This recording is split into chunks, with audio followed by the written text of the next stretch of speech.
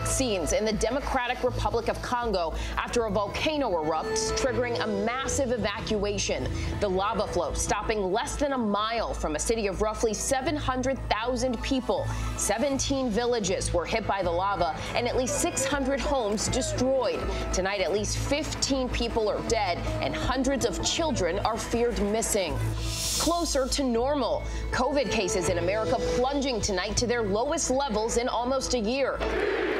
This has a weekend of sporting events showing off what a new vaccinated normal might look like. What goes through your mind when you see those large gatherings? It actually makes me feel a lot of joy state sponsored hijacking? EU member Belarus facing major backlash and sanctions tonight after forcing the diversion of a passenger jet to arrest a prominent critic of the country's authoritarian leader. And in the Middle East tonight, a fragile ceasefire holds between Israel and Hamas. Top diplomat Secretary of State Tony Blinken headed to the region. How can the U.S. help after 11 days of violence? Our Matt Gutman in Israel once again. Tonight, our conversation with Arizona's Secretary of State on the Republican led efforts in her state to conduct audits on the 2020 election despite no evidence of fraud. The folks leading this effort, they know that this is not going to overturn the 2020 election. And the incredible story of hardship, then hope. The moment 50 years in the making for this deaf mother that might have once seemed impossible. I want to hug her. I want to hug you so bad. Well, you know what? Good evening. I'm Janai Norman in for Linsey Davis. Thank you for streaming with us. We begin tonight with promising news on the pandemic after perhaps the most normal weekend in the U.S. in more than a year. Packed cheering sections of fans at arenas across the country, a sign of hope and promise of the vaccine. 15,000 fans inside New York's Madison Square Garden, the state's largest indoor gathering since the pandemic began. And gathering like these possible in more and more states as Americans get vaccinated and COVID cases plunged to their lowest levels in almost a year. Cases down 90% since January to less than 25,000 a day. The CDC tonight is investigating reports of a heart problem in more than a dozen teenagers and young people out of millions of shots administered. Our Steve Osunsami leads us off from Atlanta. This tonight is what the end of the pandemic is starting to look like. For the first time, more than 15,000 fans at a basketball game in Madison Square Garden, the largest indoor event in New York State since the pandemic. People who could prove they were vaccinated didn't need to wear masks. New York, we're here! From the NBA playoffs to the links at the PGA Championship, from graduations to parades, the vaccines are helping to get life in America back to normal. It's been a whole year we haven't been able to come out and celebrate. The average number of new COVID cases that were as high as 250,000 a day in January is now below 25,000 new cases a day, a 90% difference. New York State says it will fully reopen public schools in the fall. One million kids will be back in their classroom in September, all in person, no remote. But the CDC tonight says it is investigating reports that a very small number of young people who've been vaccinated have developed a condition called myocarditis, an inflammation of the heart. The symptoms were usually mild, went away on their own, and were seen in more than a dozen teens or young adults, usually men, about four days after getting their second dose of the Moderna or Pfizer vaccine. Doctors are on the lookout tonight for fatigue or shortness of breath, but they point out that these are still only a tiny fraction of the more than 130 million people in this country who've been fully vaccinated without any issues. They are trying to investigate to see if they're related um, at all to the vaccine. At this point, there is no relationship proven. As the world recovers, there are growing calls for a deeper investigation into how the coronavirus got its start. The Wall Street Journal is reporting new details about three workers from the Wuhan Institute of Virology who had to be treated for COVID like symptoms in November of 2019 about three weeks before health officials believe the outbreak in China began. It's not clear if the three workers actually came down with the disease.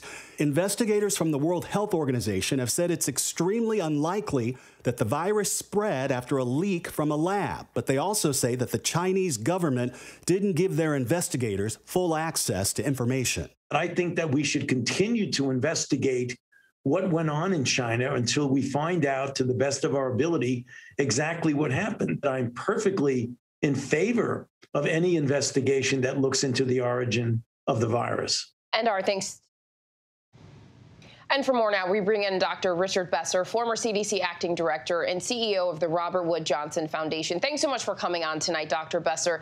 You've led the CDC and you're also a pediatrician. How concerned are you about the heart problems found in more than a dozen teenagers and young people after receiving the COVID vaccine? And what do parents need to know at this time? Well, you know, Janai, at, this point, it, it, gives me confidence in the in the in the system. You know, the the vaccines have been rolled out now, and there have been more than three million people, 16 and younger, who've who've had the vaccines. And there's a committee that looks at the safety data every week, and when they see a signal, they have to ask the question: Well, is what we're seeing something more common than we would normally expect? And right now, they they think that these cases of myocarditis or heart inflammation are not not occurring more frequently than they normally would. Unfortunately, this is something you do see in, in children and adults. But it's important that they stop and they ask the question. They look to see, are there more cases of this? Could it be related, related to vaccination? At this point, they don't think that, that it is, um, but it's always important that they're looking. Yeah, so important to keep those things in mind. And we're, of course, seeing those images of huge crowds really all around the country, with so many feeling like we've reached a real turning point in this pandemic after such a long time. What goes through your mind when you see those large gatherings? I was outside of Madison Square Garden yesterday reporting live with all of the fans. Does that make you nervous, or how do you feel when you see that? Um, it, it, actually makes me feel a lot of joy. You know, the idea that we've got three vaccines right now that are safe and effective against a disease that, that's only been around for a year is, is almost miraculous. And it tells me if you're fully vaccinated, so two weeks after your final dose, you can get back to a lot of the things in life that you love. And that's terrific because we saw a lot of people at Madison Square Garden who love basketball having a great time. If you're not vaccinated, you want to keep that mask on. And you said you felt joy. That might be contagious because don't you think people who might have been hesitant to get vaccinated, seeing all those images of the packed arenas, people having fun, do you think they might be starting to think that it might be worth getting a shot? I, I think so, and, and I hope so. I, you know, what we're seeing is the more people have friends and family members they know who've been vaccinated, the the demand, the ind is is increasing. So those people who are on the fence, they're getting much more used to this. And I think scenes like the ones that, that you you were sharing are the kinds of things that, that are going to help more people decide. All right, I want to go ahead and get this. And, and back to children real quick. New York City schools, among others, are preparing to be entirely in person this fall. Do you think that that's the right call? Do you think schools should look like? What do you think they should look like next year, especially as some kids still are not able to get vaccinated? Yeah, I think for the for the very young kids, it's going to depend what's going on around the country, and they're likely going to still be using masks. But if New York City has been able to ensure that the ventilation is is proper in those classrooms, getting kids back into school for in-person learning is so important. It's been a real challenge in terms of education, in terms of physical and emotional health, having kids kids at home and black and brown kids who tend to be in school districts that that haven't been able to do as much to improve the facilities have suffered much more. So I'm glad to see this coming and getting those kids back in school will likely have a positive impact on their mental health as well. Dr. Besser, thank you so much for joining us tonight. It's a real pleasure. Now to the urgent manhunt for the gunman who killed a six-year-old boy in a deadly freeway shooting in Southern California. The boy was sitting in the back seat with his mother behind the wheel. Authorities believe a man and a woman were in the other car. Here's ABC's Kaylee Hartung. Tonight, an urgent search for clues after six year old Aiden Leos was shot and killed in the back seat of his mother's car as she drove him to kindergarten. They took my son's life away. And he was beautiful and he was kind and he was precious. And you killed him for no. Police calling it a case of road rage, now asking for driver dash cams, looking for any signs of the suspected white sedan on Southern California Freeway 55 Friday morning. Someone pulled out a gun and shot my little brother in the stomach. And he said, Mommy, my, my tummy hurts. A single bullet piercing the trunk, officials say striking Aiden in the back in his booster seat. There was a car behind me that cut me off abruptly. And as I started to merge away from them, I heard a really loud noise. The young boy fatally wounded.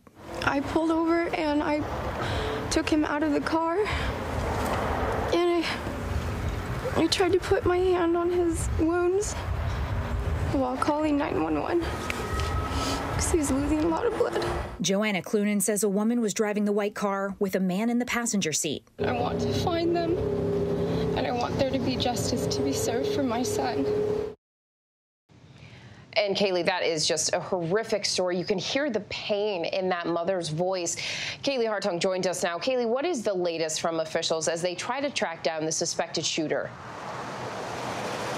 Well, Janai, police are asking for the public's help. They say they have received tips and they're following them, but we don't know that they have any suspects just yet. The focus is on getting witnesses to come forward who may have had dashboard cameras in their vehicle who were in this area on Friday morning. And Janai, you can see this memorial growing behind me just above the freeway. People continuing to come here to honor Aiden's life. And now his family is offering a $50,000 reward for anyone who may have information that could lead to an arrest. Janai heartbreaking story. Hopefully they get answers soon. Kaylee, thank you so much. And now we bring in ABC's Chief Justice correspondent, Pierre Thomas, who's been tracking the recent surge of gun violence in this country. Pierre, thank you for joining us. You have been following this latest data on gun violence, and it's showing a really stunning surge. Well, we looked at the numbers from just this past weekend alone, Janai, and we found that in the last 72 hours, 130 people have been killed and more than 400 have been wounded. That's just in the last 72 hours. Those are incredibly shocking numbers. And Pierre, speaking of this weekend, we reported on a mass shooting at a house party in New Jersey. What are authorities telling us tonight? They're still gathering information, but they're saying that this was not some random attack. It appears to be a targeted assault on that house party with the victims being intended. And Pierre, before we let you go, do your sources have any insights or even guesses as to why we are seeing these shocking spikes in gun violence at this time? You know, it's hard for them to say. All they know is that the surge began really in about 2018. Uh, we saw a more than 30% increase between 2018 and 2020. And if you look at 2020's numbers, Janai, it was 4,000 more people killed as related to gun violence in 2020 than in 2019. Stunning. And that means so many families impacted by this as well. Pierre, thank you so much. Well, next to the fragile ceasefire between Israel and Hamas that continues to hold, Secretary of State Tony Blinken is traveling to the region tomorrow as the concerns about a potential humanitarian crisis in Gaza continues to grow. Matt Gutman spent the last few days inside Gaza, but he's reporting from Tel Aviv tonight. Tonight, Hamas defiant, parading down the streets of Gaza this weekend for the first time since fighting with Israel began two weeks ago. And with Israeli tanks trucked back to their bases, Secretary of State Tony Blinken headed to the region today. We have to deal with making this turn from the violence. We've got the ceasefire, uh, and now uh, deal with the humanitarian situation. The U.S. hoping to freeze Hamas from incoming humanitarian aid. But as we found out, driving an hour south of Gaza City to an area where Hamas was seen exhuming the bodies of militants from its bombed out network of tunnels, the group is very much in control. As soon as we got out of the car, our Palestinian producer got a call telling us we cannot be here and we basically just got kicked out. And everywhere, collateral damage. Dunya Asalia's daughter, Dima, was killed by an explosion last week right outside their house. Dunya tells me an Israeli drone killed her daughter, but the Israeli military tells us it never targeted that location. Dima was buried last week, and her scent is the most precious thing her mother has left. She tells me it brings her comfort. It still clings to her pillow and her blanket, and Dunya clings to them. And Matt Gutman joins us again. Matt, you spent the weekend in Gaza. You're now back in Israel. Give us a sense on how Palestinians view this latest conflict now that it's over in comparison to the Israelis and what that could mean moving forward. You know, Jenny, the operative term you used is the latest conflict. What unites Israelis and Palestinians, and there aren't that many things upon which they agree, but that this is the latest conflict. There will be another round. The question is when. How long will this quiet last? Now, these Egyptian negotiators, um, uh, Secretary Blinken in the region, trying to create a longer lasting ceasefire at this point between Israel and Hamas. The question is, again, how much time does it buy? Um, Another question is, you know, can the U.S. progress towards a two-state solution, which we've heard President Biden talk about, Secretary Blinken, and everybody across the board, in stark contrast to what it was like with the Trump administration. But can they get this done without engaging Hamas in Gaza? Um, nobody knows the answer to that. I'll tell you what they say in Gaza. There's no way that you can have any sort of truce, peace, long-lasting ceasefire without talking to the people who were elected in 2006 and are in control of the territory that is most hostile to you. So so these are questions that the administration is going to face. And again, I think everybody, both in Israel and in the West Bank and Gaza, is asking the same questions. How can this move forward? Um, right now, nobody knows. And, and Matt, to that point, what you were just speaking about, about Secretary of State Blinken traveling to the region, as you said, he's hoping to try to extend this ceasefire, but explain why that may not necessarily help.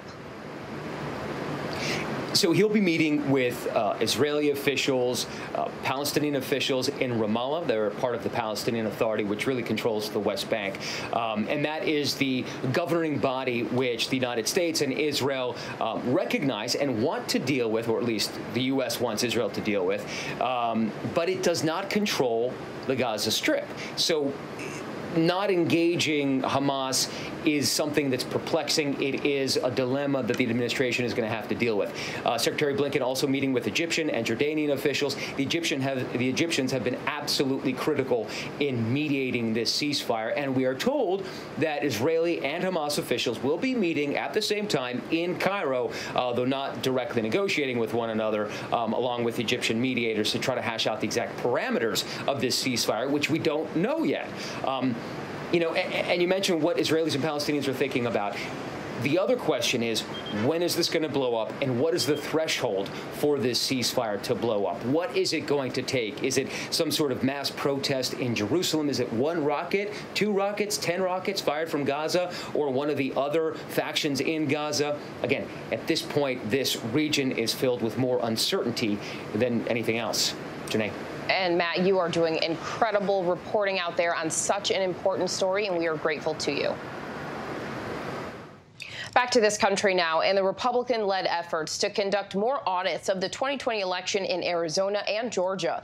Arizona's GOP led Senate has used its subpoena power to obtain more than 2 million 2020 general election ballots in Maricopa County. And in Georgia, a judge has greenlit a fourth count of absentee ballots in Fulton County. This comes as former President Donald Trump and his loyalists continue to make false claims that the 2020 race was stolen. For more context now, we bring in ABC's Devin Dwyer. Devin, thank you so much for joining us tonight.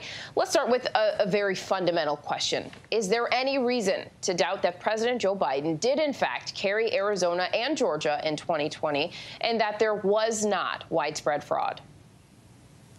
Well, there are still people, Janai, that have deep doubts, sincerely held doubts about the election results. And as you said, I mean, we are 200 days now past the election. There have been counts recounts, audits, re-audits in both of those states you mentioned, and no widespread fraud uncovered at all. In fact, both states' Republican governors, as we've said many times, certified those results. They still stand by them today. Uh, but of course, President Trump, still a major figure in the Republican Party, keeps fanning these flames, and that's why we see these states conducting yet another round of 2020 audits.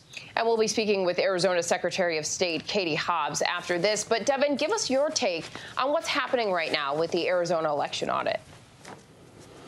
Well, you know, Janai, Arizona Senate Republicans authorized this latest count. They said they wanted to put to rest the doubts once and for all in that state. But I got to tell you, what is going on in Arizona is raising more questions than answers uh, for many reporters looking at this from the outside. The private company that they hired to conduct the count, it's called Cyber Ninjas.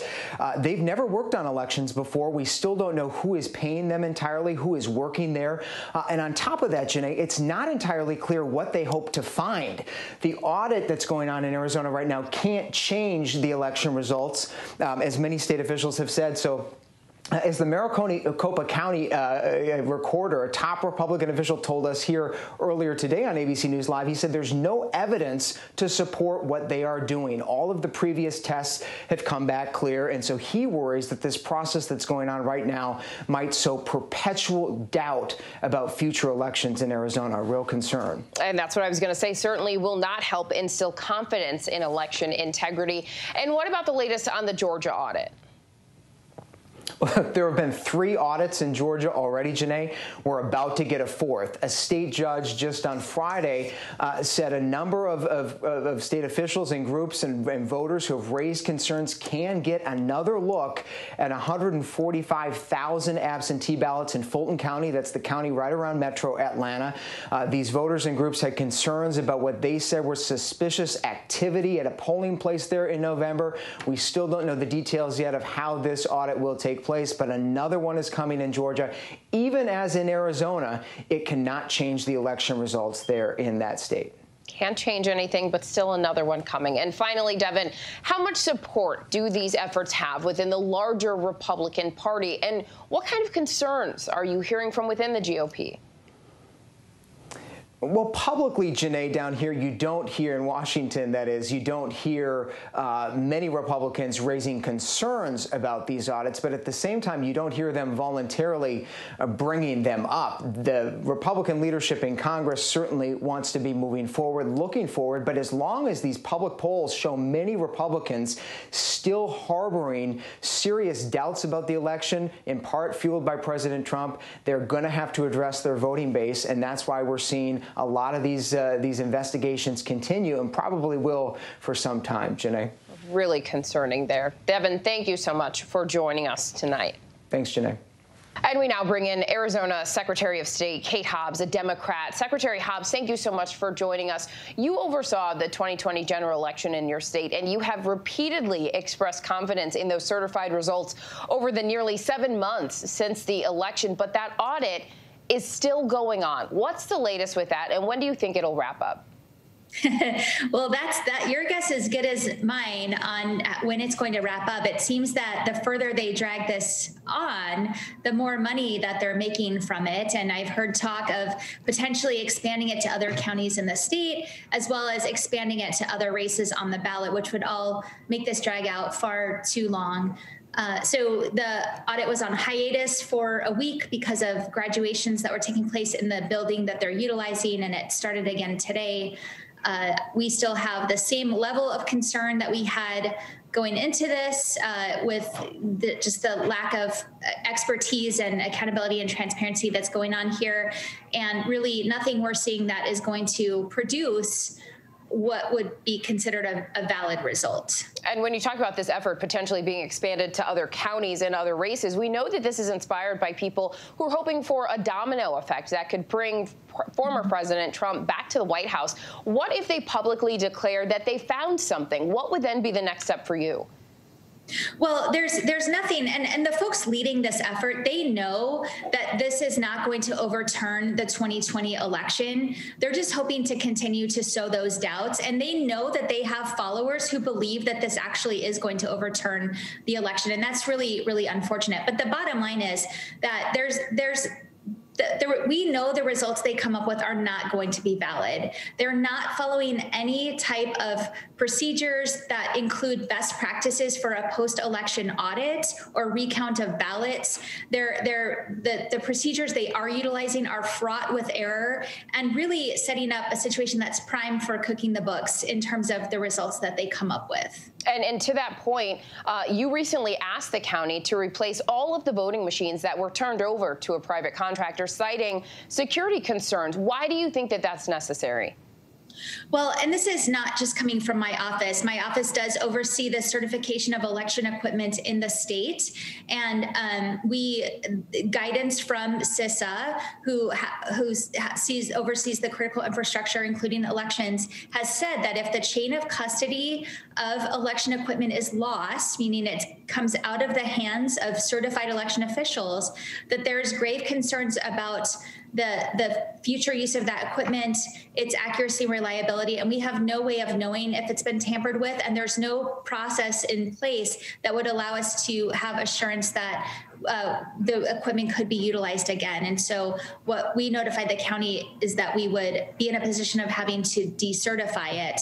And this is not new information to the county. We told them this up front before um, anything was turned over. And, and, this point about replacing voting machines would be really costly to mm-hmm. taxpayers. Mm-hmm. And you've said that other secretaries of state are also concerned about the audit in Arizona. What kind of conversations are you having with your counterparts in other states? And are you hearing from Republicans as well as Democrats?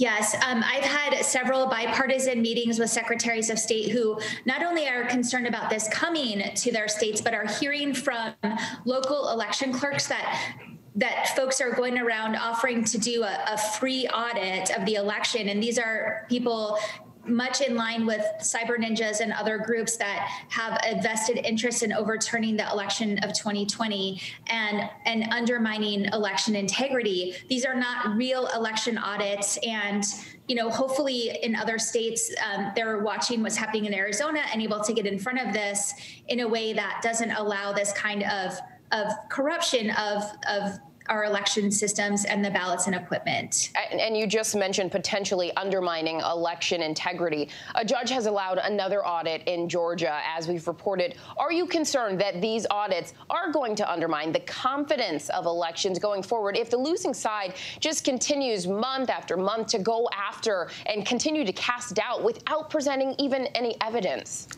You're, you're exactly right there. And, and the bottom line is that the, the, the, the level of confidence in our elections, the folks who lack the confidence, it's because of these people who continue to perpetuate the big lie and continue to to promote these evidence-free claims that there was widespread fraud when we know that there wasn't. And the way to regain election integrity and and and is to for them to stop doing this and for other elected leaders to stand up to them and, and tell the truth about our elections. And that's exactly what I wanted to ask you. How do we end this? How do we move forward? And you said you think that the, the folks who are trying to continue these audits need to stop, and other election officials need to speak up, essentially. Absolutely. And not just election officials, but elected officials as a whole. There's a lot of elected leaders in Arizona who are helping to uh, keep this alive here. Okay. Secretary Hobbs, thank you so much for joining us. Thanks for having me. And when we come back, this stunning video, a suspect right there, allegedly ramming his SUV into a police station on purpose. The phony bomb threat and the arrest of an activist causing outrage across the globe over what's being called state sponsored hijacking. How Belarus is defending the brazen move tonight. But up next, tomorrow marks one year since George Floyd's death shook America. We're on the ground in Minneapolis, and we'll also bring the story of how another city transformed its police department. Could this be an example to others? Stay with us. With so much at stake, so much on the line, more Americans turn here than any other newscast. ABC News World News Tonight with David Muir. We have made it through another week together. America's number one most watched newscast across all of television. Admit it, these days, what you need to know seems to change just about every day. What is it that you really want to know, need to know? To help you not just get through your day, but to make the most of it. Feel smarter. Feel better. Feel happier. Well, how about a third hour of Good Morning America in the afternoon? GMA 3, what you need to know. Lunchtime at 1 Eastern, 12 Central and Pacific on ABC. It's all about you. Robin Roberts, George Stephanopoulos, Michael Strahan. Wake up with America's number one most watched morning show, ABC's Good Morning America. The world may feel out of your control, but your happiness doesn't have to be. Learn the secrets to happiness. Listen to the 10% Happier podcast, free on Apple Podcasts. ABC News honored winner for the second straight year with the Edward R. Murrow Award for Overall Excellence in Television. ABC News, America's number one news source. Friday nights, 9, 8 central. True crime. Cinematic. Real life drama. Stunning. The unthinkable. Follow the clues. The Hunt. True crime. 2020. Friday nights, 9, 8 central on ABC. The reality is our country can collapse from within. You see the white power movement on the march. Klansmen and neo Nazis, skinheads, it's meant to incite war. From the KKK to Oklahoma City to Charlottesville, the new documentary event special. We just need to start talking about race. Homegrown hate, the war among us. This is a real wake up call. Streaming now on ABC News Live. Now, when it matters most, the straightforward facts. ABC News is America's number one news. Good Morning America, number one in the morning, nine years running. World News Tonight with David Muir, number one in the evening with America's most watched newscast. 2020, the number one news magazine on Friday nights. The View, the number one daytime talk show. And ABC News Live, number one in streaming news. ABC News is America's number one news.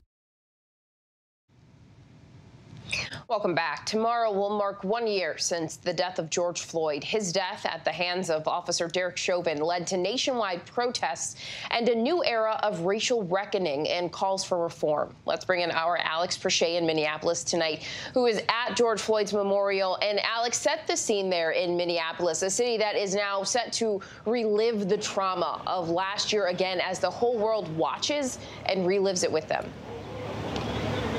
Hey, Janai, good evening. Uh, I got to say, it is a weird mix of, of emotions here. I mean, we, we hear people around here say all the time, you know, uh, celebrating the one year anniversary, the one year anniversary of George Floyd's death. Uh, but then you think about that word anniversary, and often uh, it's used for something celebratory. It's, it's, it's used for something worth celebrating, and, and, and uh, people are saying it, and you understand why they have a hard time saying something different or describing it a different way.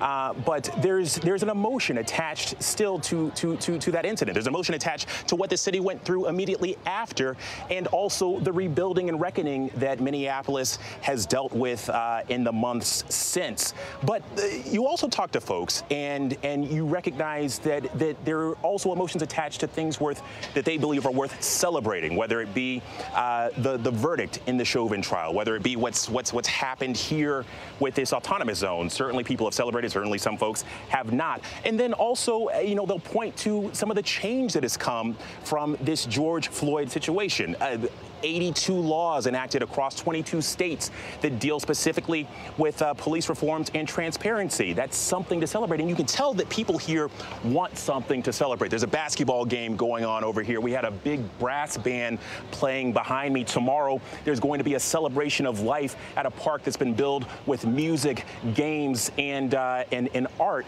Uh, but you still recognize that underneath that surface of, of this, this feeling of celebration is the initial act, that, that death of George Floyd just across the street from me. And Alex, George Floyd's family is set to meet with President Biden tomorrow. Is his family hopeful that this moment can go from protests to actual policy changes?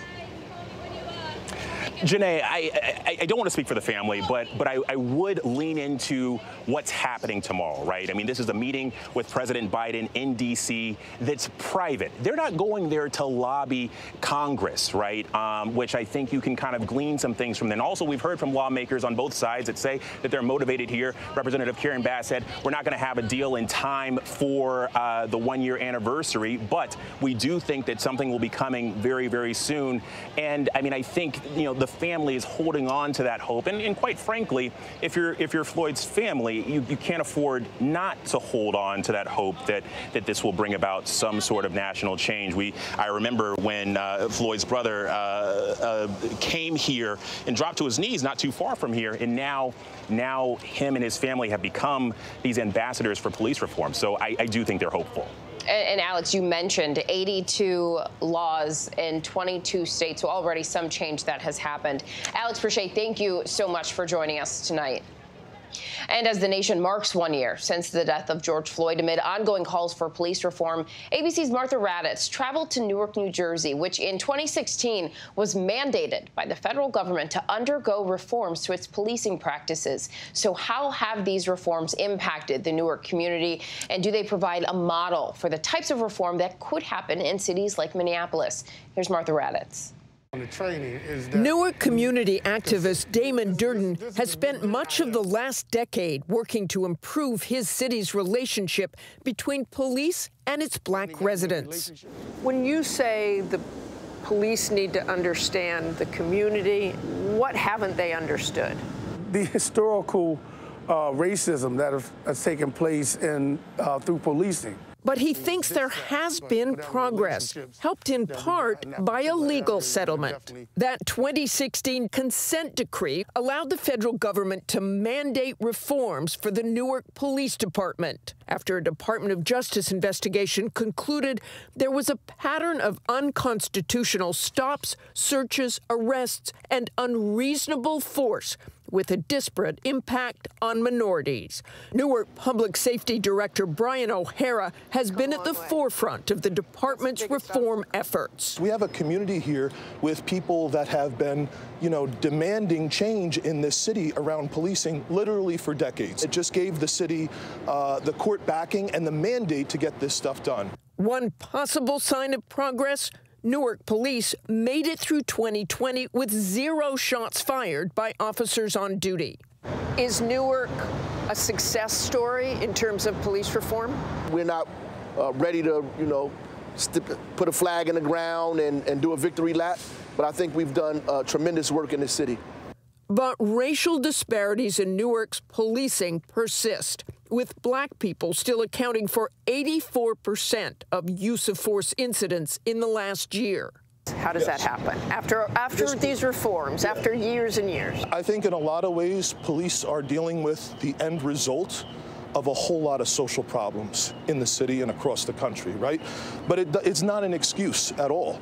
Wait, what does that mean? Dealing with a whole lot of social problems across the country? You know, concentration of social disadvantage, you know, historical problems that have been building up for decades. My experience shows something else that, you know, there's hypervigilance in our communities and that, you know, we're, we're actually looked at differently than other communities O'Hara, who has worked with Durden over the years, agrees. It does not excuse disparity in any of those statistics, but I think there's a difference between disparity that is based on those social problems versus disparity based on what a particular officer may be doing, which is something we have to look for, and particular police practices that may not be helpful. Now, a consent decree could be in store for Minneapolis, the DOJ announcing an investigation into its police department a day after former officer Derek Chauvin's conviction in the murder of George Floyd.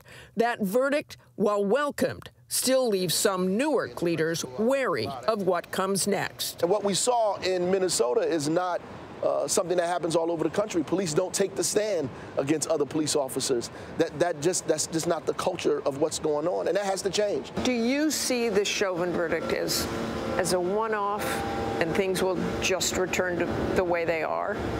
They will if we allow them to. They will if they allow them to. And so that federal oversight is extremely important. Our thanks to Martha Raddatz. Still ahead here on Prime, the cause of that deadly cable car accident in the Alps is revealed, and now prosecutors are looking into charges. The deaf mother of two in her inspiring story of how she never gave up trying to become a college graduate. And Phil Mickelson made history this weekend out on the golf course. We take a look by the numbers. But first, our tweet of the day rapper DMX gone, but certainly not forgotten. His latest album will be released this week.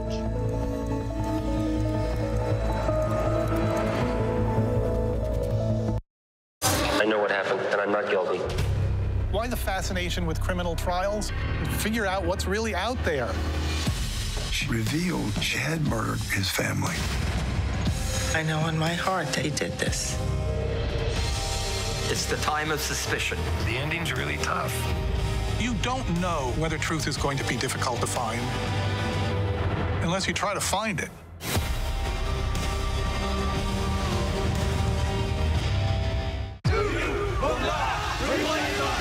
The reality is our country can collapse from within. You see the white power movement on the march. Klansmen and neo Nazis, skinheads, it's meant to incite war. From the KKK to Oklahoma City to Charlottesville, the new documentary event special. We just need to start talking about race. Homegrown hate, the war among us. This is a real wake up call. Streaming now on ABC News Live. Admit it. These days, what you need to know seems to change just about every day. What is it that you really want to know, need to know? To help you not just get through your day, but to make the most of it. Feel smarter. Feel better. Feel happier. Well, how about a third hour of Good Morning America in the afternoon? GMA 3, what you need to know. Lunchtime at 1 Eastern, 12 Central and Pacific on ABC. It's all about you.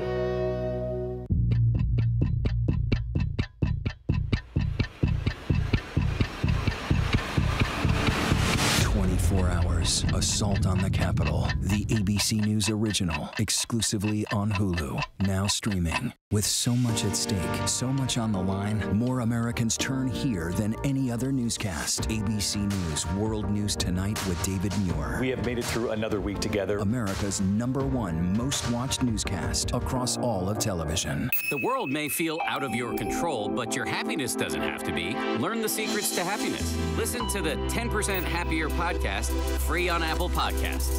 Robin Roberts, George Stephanopoulos, Michael Strahan. Wake up with America's number one most watched morning show, ABC's Good Morning America. ABC News honored winner for the second straight year with the Edward R. Murrow Award for Overall Excellence in Television. ABC News, America's number one news source. And now to a win for the ages, as this weekend, golfer Phil Mickelson became the oldest men's player ever to win a major golf championship. Let's take a look by the numbers 50 years, 11 months, and seven days. That was Mickelson's age Sunday when he clinched his six under par victory at the 103rd PGA Championship, the oldest player to ever win a major, besting a record that had been held up since 1968. The win gives Mickelson six major titles in his career, putting him in an elite club of just 14 golfers to pull off that many wins. And it was his first major title since 2013. The fan favorite known as Lefty didn't win his first major until he was 33 when Mickelson clinched the 2004 Masters in his 13th year on the tour, his first of three Masters wins. But he has zero, count them, no wins in the U.S. Open, where he's finished in second place six times, leaving Mickelson just short of a career Grand Slam. Don't worry, though, he has got plenty of reasons to smile, with $94 million in career winnings, putting him second to only good friend Tiger Woods in all-time earnings. And another testament to Mickelson's longevity, his first tour victory three decades ago, back in 1991, when he was just 20 years old, a college junior at the time, is the last time an amateur won a PGA Tour event. And we still have a ton to get here tonight on Prime. The new watchdog report blasting the Trump administration's child separation policy for allegedly deporting some parents before they even had a chance to take their children with them.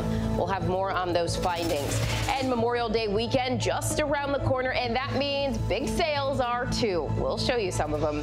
But first, a look at our top trending stories on abcnews.com.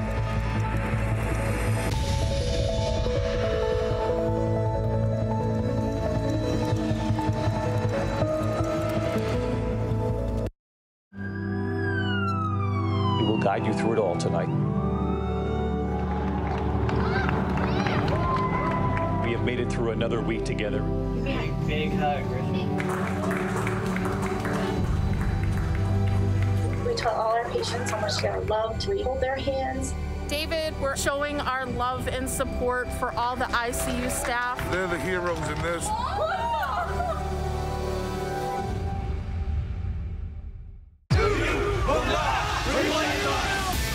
The reality is our country can collapse from within. You see the white power movement on the march. Klansmen and neo-Nazis, skinheads, it's meant to incite war. From the KKK to Oklahoma City to Charlottesville, the new documentary event special. We just need to start talking about race. Homegrown hate, the war among us. This is a real wake-up call. Streaming now on ABC News Live. Friday nights, 9, 8 central. True crime, cinematic, real life drama, stunning, the unthinkable. Follow the clues. The Hunt. True crime. 2020. Friday nights, 9, 8 central on ABC.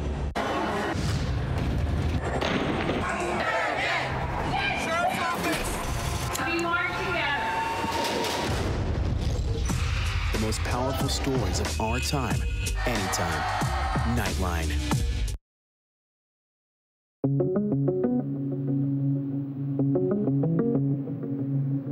CDC is reviewing more than a dozen cases of young vaccine recipients who experienced inflammation in the heart. It happened within four days after getting a COVID shot. The rare condition is called myocarditis. Current data shows only one case occurring in more than 5 million vaccinations. Health experts stress there isn't a higher percentage of myocarditis in vaccinated young people than would normally occur in the general population. From my perspective, the risk of, of COVID is so much greater than any theoretical risk from the vaccine. Well, United Airlines is the latest company to offer vaccine incentives, and this one is pretty good. Vaccinated customers have the chance to win a year's worth of travel. From now through June 22nd, any member of United's Mileage Plus loyalty program can upload proof of vaccination on the company's website or app. 30 people will win round trip flights for two anywhere in the world, and five people will win the grand prize of free travel for a whole year in any class of seating. Meanwhile, a report in the Wall Street Journal about the origin of COVID 19 says researchers at a lab in Wuhan, China, fell sick enough to go to the hospital in November 2019 before the virus was publicly known. It's unclear whether they had the virus. However, the secrecy of the Chinese government is fueling speculation that the virus originated in that lab. A suspect is facing attempted murder charges after driving into a police station. New video shows the 24 year old suspect ramming an SUV into the station in Havre de Grace, Maryland. Police say he had called and threatened to kill officers earlier in the day. Luckily, no officers were injured. An investigation continues into the crash of a cable car in northern Italy. 14 people, including at least one child, have been killed after their cable car plunged down the side in Italy. This happened on Sunday near Lake Maggiore. It's an area very popular uh, with tourists. In fact, this cable car had only just reopened at the end of the pandemic. Among the dead, we understand at least five Israeli nationals, and two children were discovered inside the wreckage alive. They were airlifted to the hospital. One of them, though, sadly died of their injuries later. It's not known how this accident happened. It's thought a cable failed. It then plunged over 60 feet down to the ground below, crashing uh, on the side of the mountain and then rolling down the slope before eventually being caught by the trees. A new watchdog report blasts the former Trump administration's child separation policy at the border. The DHS Inspector General found ICE agents deported 348 migrant parents between 2017 and 2018, in some cases, not giving them the chance to take their children with them. The findings contradict government claims about parents choosing to leave their children behind in the U.S. Four months after the January 6th insurrection, National Guard members who have been stationed around Washington, D.C. are finally leaving. After nearly five months on duty, 2,149 troops will return home this week. They've been on guard since the Capitol riots on January 6th. The Department of Defense stating that their mission ended Sunday, offering no more requests for extensions. Originally, the Capitol Police asked the Guard to stay past March 12th. Due to the strain on the police force, the Capitol itself will be guarded by Capitol Police, but the complex around the building will remain closed. And we turn now to a shocking story out of Belarus. Lama Hassan is with us now. Lama, yesterday, a Ryanair flight carrying a top Belarusian activist was forced to land in Belarus after Belarusian air traffic control said there was a, quote, potential security threat on board. That activist, 26-year-old Roman Protasevich, was taken off the flight and is now detained. What can you tell us about some of the European countries, what they're doing to condemn this incident that many are calling a hijacking? Yeah, Janai, this truly is a stunning story. The plot sounding like it came straight from a Hollywood movie. So as you can imagine, this has the international community up in arms about it, condemning the, quote, brazen and shocking diversion of this Ryanair flight and demanding immediate condemnation. European Union leaders have now agreed on new sanctions against Belarus, including a ban on the use of the EU's airspace and airports, and that includes 27 nations. The EU Commission has also called for the immediate release of Roman Protasevich. Now, this wouldn't be the first time that Belarus has faced condemnation from the EU. Belarus's President Alexander Lukashenko has already faced sanctions from the EU after crushing last year's protests after he was re-elected, which was a contested victory. Now, here in the UK, even though it's no longer part of the EU, it is hitting back. The Civil Aviation Authority has ordered airlines to avoid Belarusian airspace and has suspended Belarus's national airline from operating here. So tough responses from the EU and the UK. Yeah, lots of lots of condemnation all around, and we're hearing from from other passengers. We're learning what Roman Protasevich was was like in those moments right before he was detained. And do we know where he's being held tonight? Yeah, you're absolutely right, Janai. According to other passengers who were on that flight, Protasevich was visibly distressed when he realized that the plane was headed back to Minsk, the capital of Belarus. Passengers um, were quoted as saying that he began to frantically delete things from his laptop and his phone. And tonight we're being told he is being held in a detention center in Minsk and a pro-government channel posting a video of him, the first time that we've seen him since he's been detained. And in the video, video, he appears to be reading from a prepared speech where he denies being mistreated and says he is cooperating with the investigation. He says he's also confessed to charges of, quote, organizing mass disorders in Minsk, which carries a punishment of up to 15 years in jail. So this story is far from over. Janai. Really alarming story that we will continue to follow. Lama, thank you so much. Well, Memorial Day is just a week away, and that means retailers are gearing up for the summer season and the holiday sales that come with it. Becky Worley has tips on which deals might be worth jumping on and what to wait for. Memorial Day may be a week away, but it's not too early to look for deals. Start shopping now.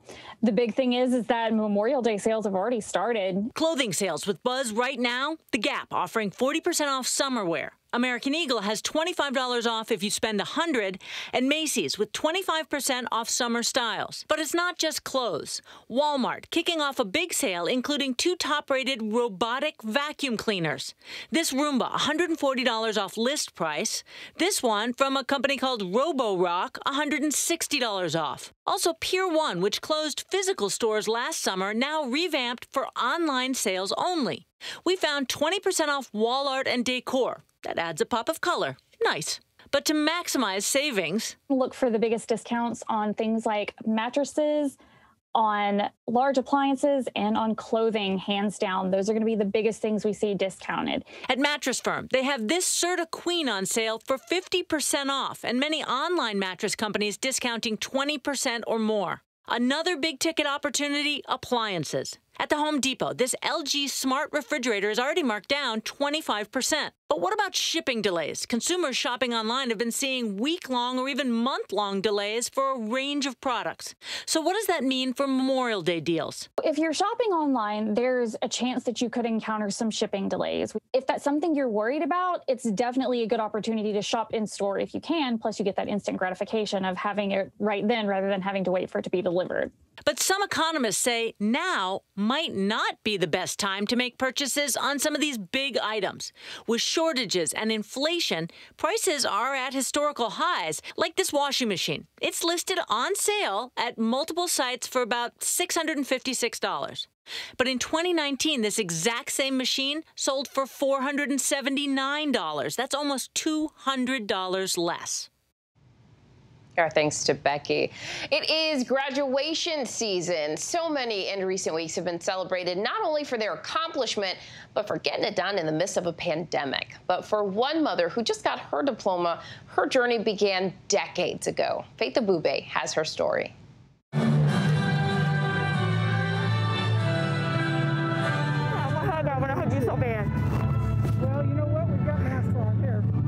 A warm hug between student and chancellor. The smiles and laughter hiding the story of the long and arduous journey here. Michelle Randolph has been dreaming of this special moment since she started her undergraduate career in 2018 at 47 years old. I worked really hard for this. I worked really hard. A mother of two, now a University of North Carolina Charlotte graduate. It feels great to be able to hear out here. I can finally hear everything.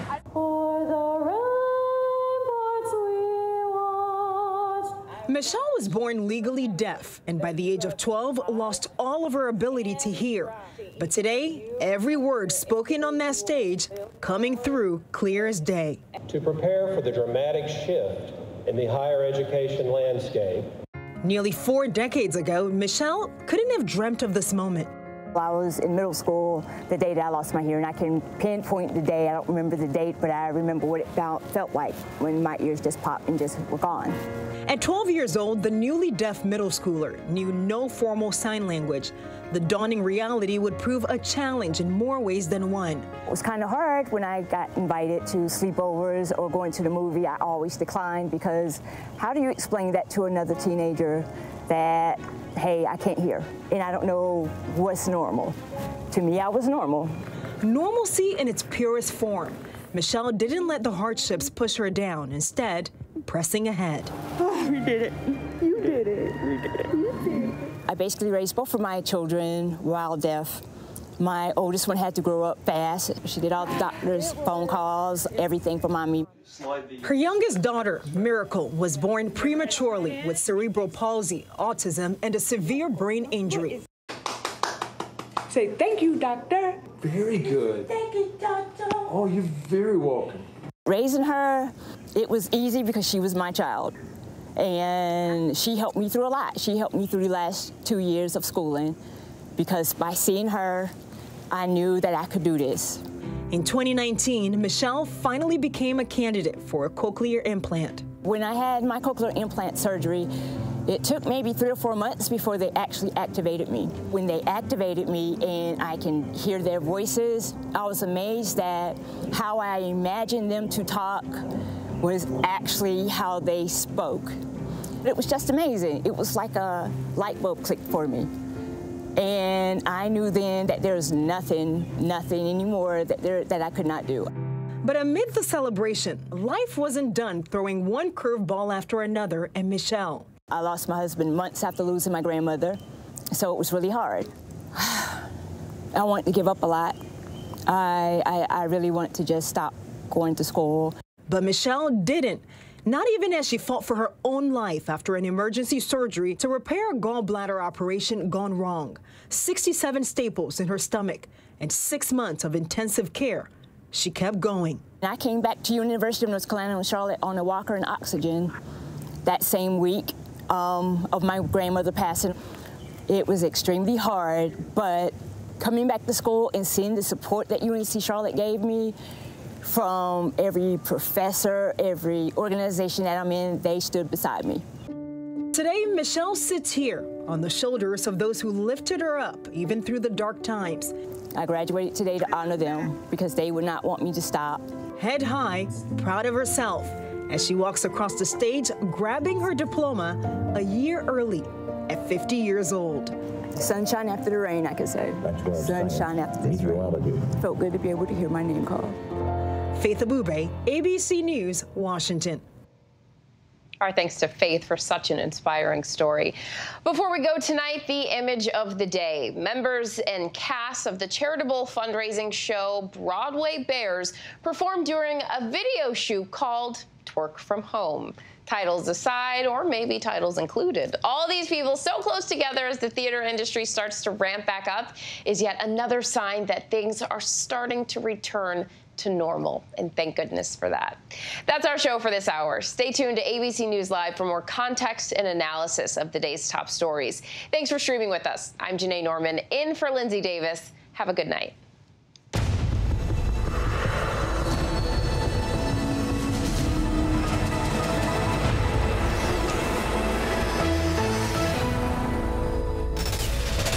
And coming up in the next hour, we're staying on top of a number of stories, starting with what's being called state sponsored hijacking. The White House condemns it, and the EU just sanctioned it. Martha Raddatz will bring us the latest on the brazen arrest by Belarusian officials that led to this.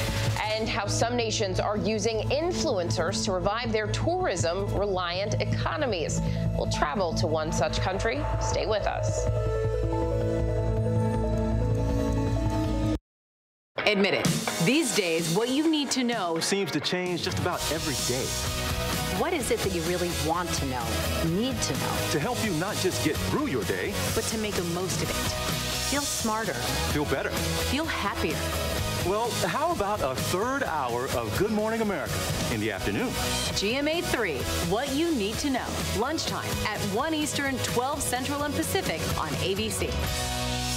It's all about you. I know what happened, and I'm not guilty. Why the fascination with criminal trials?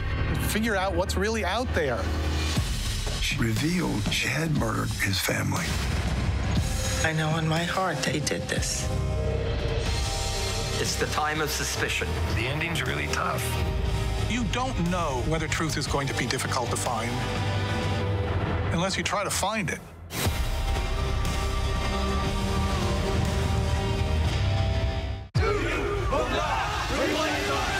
Reality is our country can collapse from within. You see the white power movement on the march. Klansmen and neo-Nazis, skinheads, it's meant to incite war. From the KKK to Oklahoma City to Charlottesville, the new documentary event special. We just need to start talking about race. Homegrown hate, the war among us. This is a real wake-up call. Streaming now on ABC News Live. I'm Janai Norman. Thanks for streaming with us. We're monitoring several developments here at ABC News at this hour. Secretary of State Blinken announced he'll be traveling to Israel to ensure the ceasefire between Israel and Hamas holds. In a tweet, Blinken also said the U.S. is focused on the road ahead, including steps to create a better future for Israelis and Palestinians. The recent 11 day war led to the deaths of over 200 Palestinians and over a dozen Israelis. With the Olympics just a little less than two months away, today the U.S. added Japan to the do not travel COVID advisory list. Japan is currently battling another wave of COVID, and its government is deciding whether they should extend their state of emergency, which is set to expire on Monday. The U.S. Olympic and Paralympic Committee released a statement saying they felt confident that the current mitigation practices in place for athletes and staff, coupled with testing before and after arriving to Japan, will allow for safe participation by Team USA. The CDC announced they're looking into a possible link after more than a dozen people, mostly teens and young men, came down with heart issues after getting the COVID vaccine. The condition appeared about four days after the second dose and usually went away on its own. So far, half of all Americans have received at least one shot. Doctors continue to stress that the benefits of immunization far outweigh the risks. And now to news out of Las Vegas tonight. A military plane crashing into a neighborhood near Nellis Air Force Base outside Las Vegas. Let's bring in our Alex Perez. And Alex, what do we know so far? Well, Janai, still a lot of unanswered questions at this point, but just a frightening situation in this neighborhood in Las Vegas after this aircraft came crashing down. Now, I want you to take a look at some of the latest images, what we're seeing right now. Investigators are rushing to the scene of the wreckage.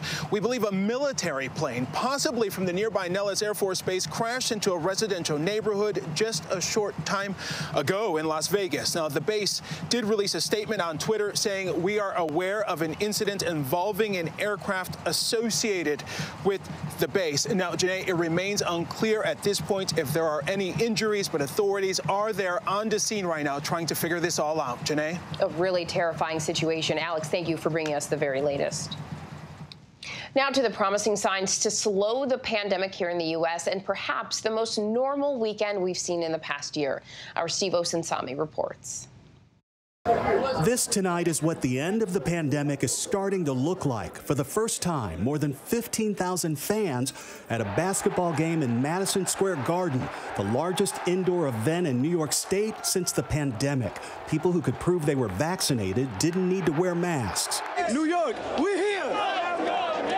From the NBA playoffs to the links at the PGA Championship, from graduations to parades, the vaccines are helping to get life in America back to normal. It's been a whole year we haven't been able to come out and celebrate. The average number of new COVID cases that were as high as 250,000 a day in January is now below 25,000 new cases a day, a 90% difference.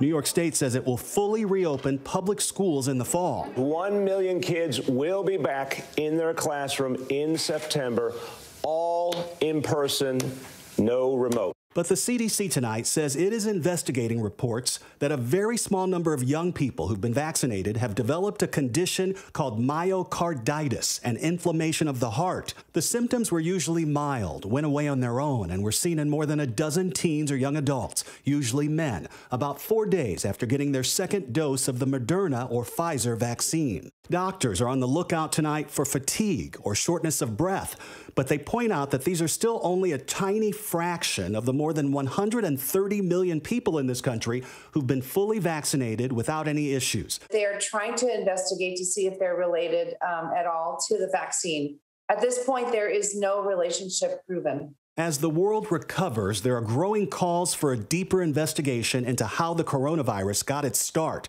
The Wall Street Journal is reporting new details about three workers from the Wuhan Institute of Virology who had to be treated for COVID like symptoms in November of 2019, about three weeks before health officials believe the outbreak in China began. It's not clear if the three workers actually came down with the disease.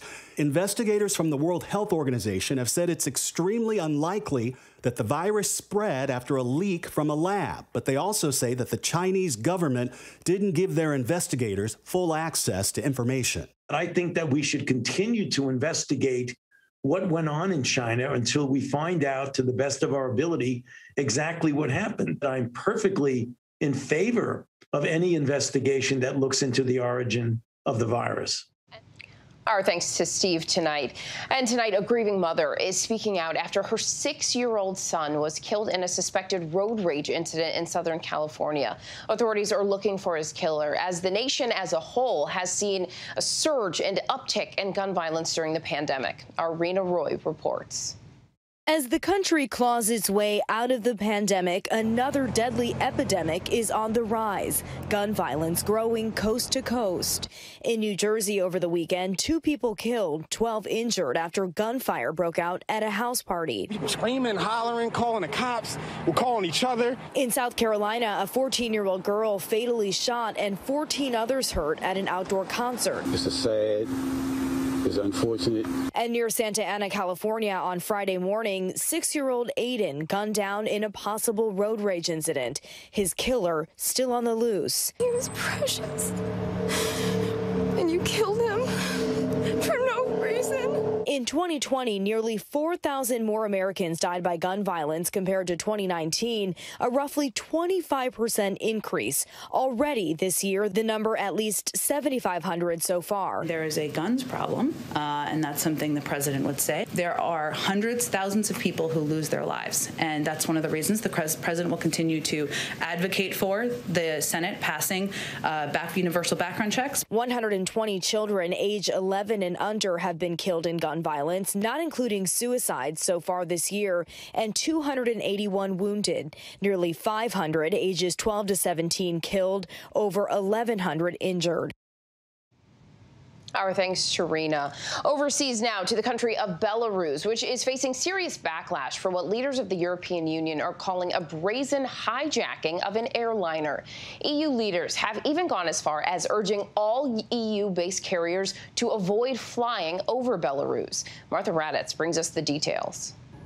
It's being called a state sponsored hijacking, denounced by the White House as a shocking act. The authoritarian president of Belarus ordering this commercial jet to divert and land in order to arrest this passenger, 26 year old journalist Roman Protasevich. Protasevich boarded the Ryanair flight in Athens with some 120 other passengers bound for Lithuania. But when the plane crossed into Belarusian airspace, local air traffic controllers warned the pilots of a potential security threat, directing them to land immediately. A MiG 29 fighter jet launched to escort the plane.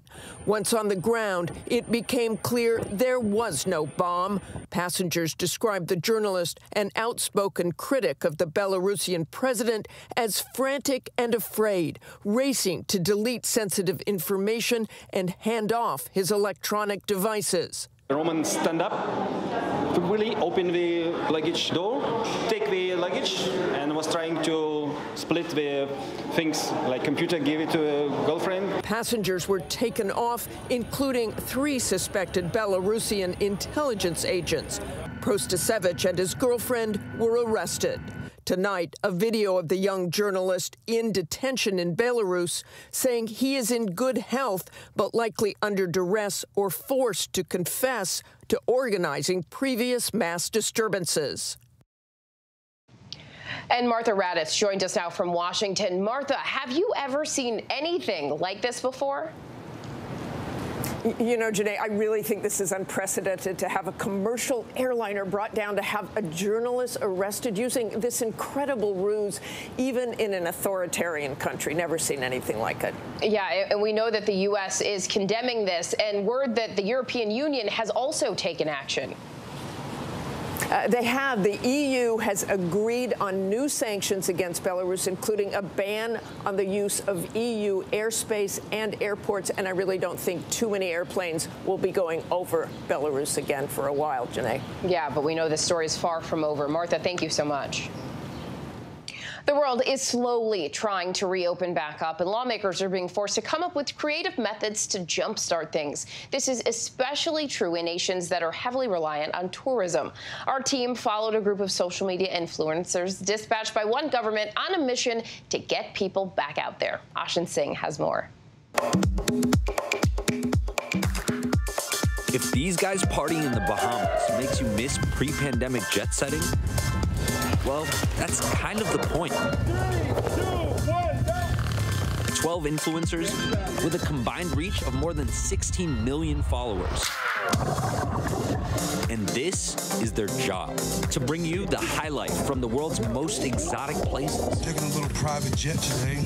Right to your social feeds with the goal of getting you to book a trip of your very own. It's time for some dolphins. And now, as the pandemic reaches this new phase of reopenings and Americans debate when to take that first big trip, these influencers are like digital travel agents working to restart economies decimated by the lack of travelers. From inside the U.S. to paradise abroad. I think that we make a huge impact as far as bringing tourism to all these places that need it, especially after COVID. But with the pandemic still looming, questions about variants and mask mandates are the topics of discussion heading into the summer. Fully vaccinated people can contract COVID, but I would like to emphasize that this is exceedingly rare. And the debates about vaccine passports, not to mention the inconsistent guidelines from destination to destination, are at center stage. It is confusing when the CDC comes out and says for vaccinated Americans, you know, it's safe to travel. And then the next week, the State Department says, but there's 160 countries you shouldn't travel to. While some are weary about traveling again, these influencers are hellbent on getting tourists back to the streets and the industry back on its feet safely. In the Bahamas, Jay Rich is leading his latest excursion, a content creation trip for a group of influencers he manages. It's all a part of his brainchild, Project FOMO. We're working nonstop. We all combine and we create experiences and activities, not just your typical travel photo. Jay helped create Project FOMO in the midst of the pandemic after he says the Maldives government reached out saying they needed some help. I link up with the tourism boards. Uh, you know, I try to create uh, travel viral videos. It's, it's the new modern way to bring in tourism. Creators like Jay essentially work in partnership with tourism boards both locally and abroad, depending on the level of engagement the influencer gets. That's how many followers and likes they receive.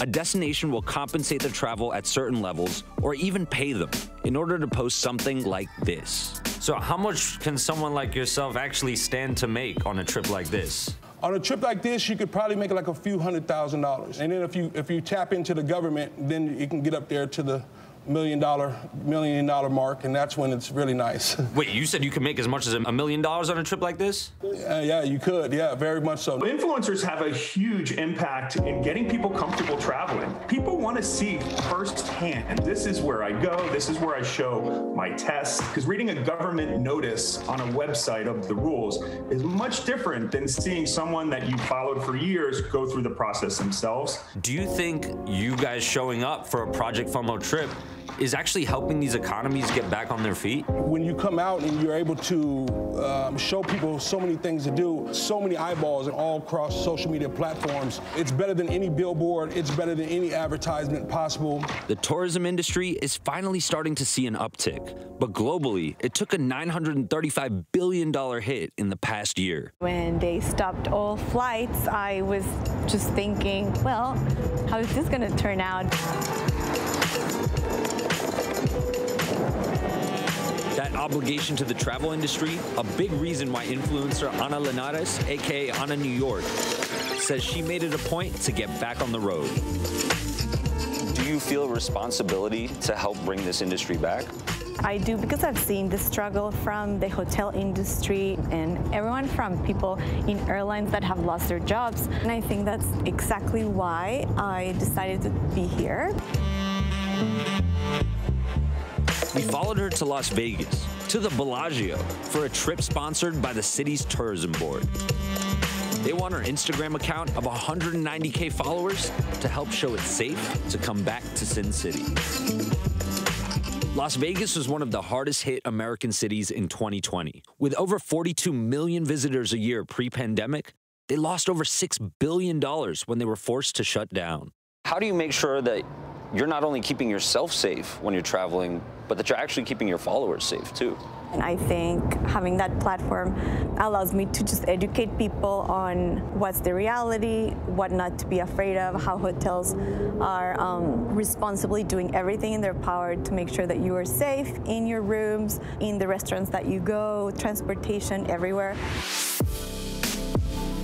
Experts tell us that traveling domestically may actually be the right idea this summer probably still overall domestic travel is going to be safer than uh, international travel. We know that almost 40% of the US population now is fully vaccinated. Our case numbers are uh, ticking down day by day.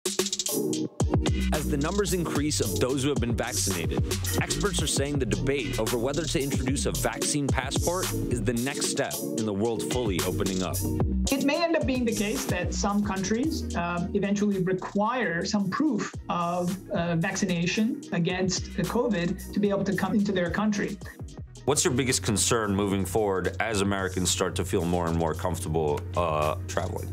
The US government cannot confirm if anyone actually got the vaccine. This is going to pose a challenge with international travel, fraud with vaccination cards.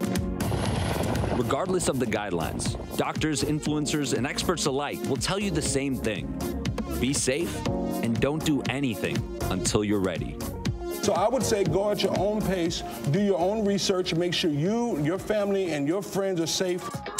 If anything, the past year has taught these jet setters not just about the privilege of travel, but they say it's about truly savoring the people and places that come with it. I had to think of places that were within distance of me to go and discover and create new content. Pre-pandemic, it was all about trying to hit as many destinations as possible. Now, I hope people actually savor travel and take more meaningful trips. We always talk about all the deaths and everything in COVID, but we also have to talk about how many families and people are starving now because of the lack of tourism. Do you feel like you're helping? I always feel like I'm helping. I'm a giver. I'm always, I've always been a giver, and I'm always will be a giver. He said he could make about a million dollars for traveling, and I'm realizing I may have chosen the wrong profession. Still to come, the duly elected female leader locked out of her office and her male predecessor who refuses to leave the post he no longer holds. And Brooke Shields sits down with us to talk about her remarkable road back to health. Stay with us. With so much at stake, so much on the line, more Americans turn here than any other newscast. ABC News World News Tonight with David Muir. We have made it through another week together. America's number one most watched newscast across all of television. Admit it. These days, what you need to know seems to change just about every day. What is it that you really want to know, need to know? To help you not just get through your day, but to make the most of it. Feel smarter. Feel better. Feel happier. Well, how about a third hour of Good Morning America in the afternoon? GMA 3, what you need to know. Lunchtime at 1 Eastern, 12 Central and Pacific on ABC. It's all about you. There's nothing better than getting together with friends. And the wait is finally over. Now, tomorrow on GMA. I don't think that any of us had any idea how emotional we would be. The reunion the world's been waiting for. And the first TV interview. I got a lot of, you're the best of all the guys. And what made Jennifer Aniston say this? I don't even know if I've ever said that in an interview ever. Tomorrow morning. To see them all together again, uh, it's magic. On ABC's Good Morning America. Good Morning America. Mike Tyson was called the baddest man on the planet because he was the baddest man on the planet. There were three black men who ruled the world Michael Jordan, Michael Jackson, Mike Tyson. The only question was, which Mike do you want to be? Mike Tyson in the ring, he was unbeatable. But outside the ring, the climb, the crash, the comeback. If you could talk to 20 year old Mike, what would you say to him? It's gonna hurt. The Knockout premieres Tuesday night, May 25th on ABC. Robin Roberts, George Stephanopoulos, Michael Strahan. Wake up with America's number one most watched morning show, ABC's Good Morning America. The world may feel out of your control, but your happiness doesn't have to be. Learn the secrets to happiness. Listen to the 10% Happier podcast, free on Apple Podcasts. ABC News honored winner for the second straight year with the Edward R. Murrow Award for Overall Excellence in Television. ABC News, America's number one news source. Friday nights, 9, 8 Central. True crime, cinematic, real life drama, stunning, the unthinkable. Follow the clues. The Hunt, True Crime, 2020. Friday nights, 9, 8 Central on ABC. The reality is our country can collapse from within. You see the white power movement on the march. Klansmen and neo-Nazis, skinheads, it's meant to incite war. From the KKK to Oklahoma City to Charlottesville, the new documentary event special. We just need to start talking about race. Homegrown hate, the war among us. This is a real wake-up call. Streaming now on ABC News Live. Now, when it matters most, the straightforward facts. ABC News is America's number one news. Good Morning America, number one in the morning, nine years running. World News Tonight with David Muir, number one in the evening with America's most watched newscast. 2020, the number one news magazine on Friday nights. The View, the number one daytime talk show. And ABC News Live, number one in streaming news. ABC News is America's number one news. We're tracking several international headlines at this hour. Myanmar's ousted leader made her first in person court appearance earlier today since her arrest back in February. She was removed by the military after her party won in a landslide victory. The military claims her win was the result of a widespread election fraud. Her supporters say her arrest is politically motivated and an attempt to discredit her, all in an effort to legitimize military rule in Myanmar. 14 people, including a child, died in Italy after a cable car crashed into the ground in northern Italy Sunday. The cable car fell 65 feet before rolling several times. Another child remains in serious condition. The victims were of Italian, Israeli, and Iranian descent. The Minister of Sustainable Infrastructure announced a commission which will be set up to find out what happened. And Samoa's first female leader was locked out of parliament for what was supposed to be her swearing in and first day of her new government. Samoa's previous prime minister, who had been in power for 22 years, held a news conference claiming he and his government remain in charge. The elected female leader called the move a quote, bloodless coup. A number of businesses are struggling to fill positions, but there's debate over why. Is it because of government unemployment benefits being too generous? The transformation of the job market during the pandemic being far greater than analysis than analysts are taking into account, or something else? No matter the reason, businesses are being forced to get creative if they want to attract the best employees. Deirdre Bolton has more. Laid off workers are in a pinch. When you have five weeks worth of bills, that's added up. Danielle Anderson is a furloughed Ford auto factory worker waiting to be recalled. She receives unemployment benefits, but the payments are behind. I've waited this long, you know, already. Gasoline is expensive. I'm about five weeks behind on the car payment. Some states are cutting unemployment benefits starting next month. Critics arguing those payments are a disincentive to people going back to work. That perhaps is a, a, misguided perception of what's really going on in terms of the labor market. In Danielle's case, she is on hold until her Ford factory gets a shipment of semiconductor chips that go into the cars that she helps to put together. Always worked one or two jobs. I love the people that I work with. Experts say there are numerous reasons for people not going back. Number one is probably the virus and the health situation. Number two, you also have childcare issues, which are still not addressed. Number three, you also have the fact that a lot of older individuals took early retirements during the pandemic. Workers are challenged, and so are businesses. Erica Simoneau manages Columbo's, a popular restaurant on Cape Cod in Massachusetts. She says the restaurant owners are offering $100 incentive bonuses, even adding a 401k program. These are um, incentives that this business has never seen before. Small businesses are not alone. Amazon aiming to hire 75,000 employees and offering some of them $1,000 signing bonuses. McDonald's, Chipotle, Target, Costco agreeing to raise wages or offering signing bonuses for workers. Even Uber and Lyft are giving out cash bonuses for referring new drivers. Some chains like Taco Bell, CarMax, and IHOP have held job fairs to bring in new recruits. Our thanks to Deirdre. Now to Brooke Shields, talking for the first time about her challenging recovery after a gym accident that left her wondering if she would ever walk again. Deborah Roberts sat down with her. It sounds like you're saying the ordeal has been kind of a blessing. I think it's almost been the biggest blessing to date because I realize what a fighter I am. For Brooke Shields, the journey started as she was nearing an ending. It was late January. The 55 year old actress, model, and beauty icon was in top form, finishing the 13th day of a 14 day workout plan. There you go. I was energized. I wasn't exhausted. I had been eating even healthier and not zone. drinking. I was in the zone and never dreaded it.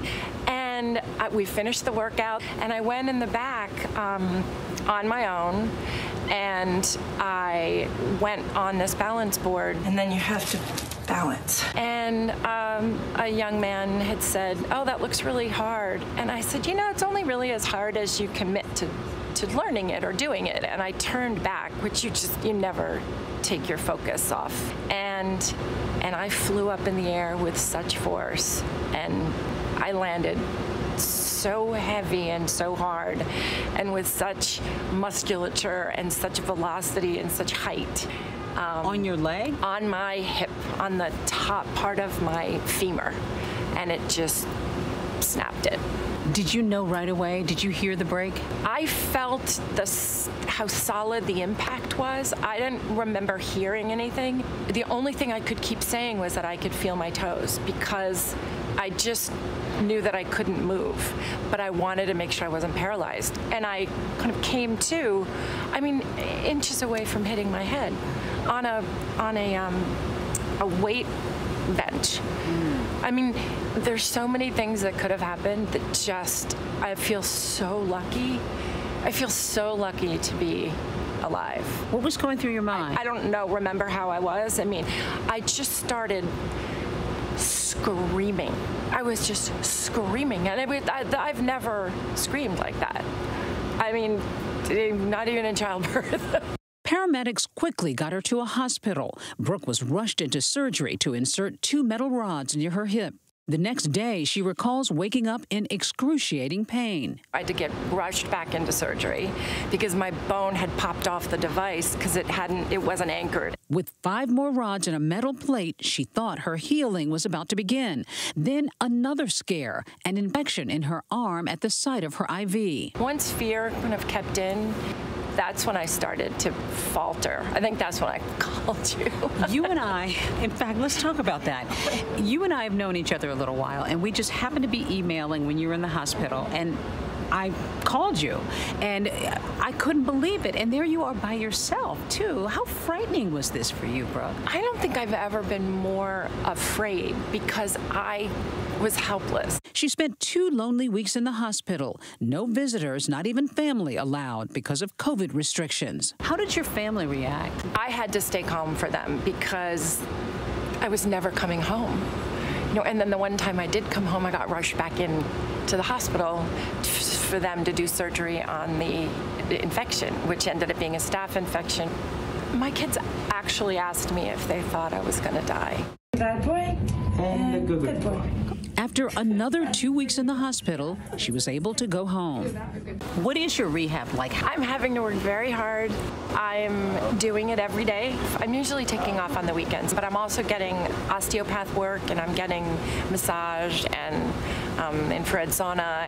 I made it downstairs today by myself. Brooke Shields has found strength by documenting her journey on social media, offering hope to others who may be on their own difficult journey. If I can turn it into anything positive, or I can teach my girls, yeah, stuff's going to happen in your life, and how you respond is going to define you. And adversity will reveal you. It won't make you as much as it will reveal you. Adversity will reveal you. That's interesting. Because you see who you are, you see what you're made up of. Then you think, like, wow, I, I, think I need to share this. I need, especially women, I, I want them to know that that they deserve to feel good about themselves and be healthier and happier and bigger, live a bigger life. For Good Morning America, Deborah Roberts, ABC News, New York. Perfect adversity will reveal you. Our thanks to Deb for that piece and for Brooke, to Brooke Shields for sharing her story. That is our show for tonight. Stay tuned to ABC News Live for more context and analysis of the day's top stories. I'm Janai Norman in for Linsey Davis. Thanks for streaming with us. Good night.